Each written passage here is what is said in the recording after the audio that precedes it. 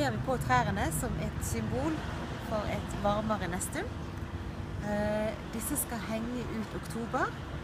Eh, og vi henger på små hjerter med gode ord, eh, som vi håper skal bli til oppmuntring eh, for mange.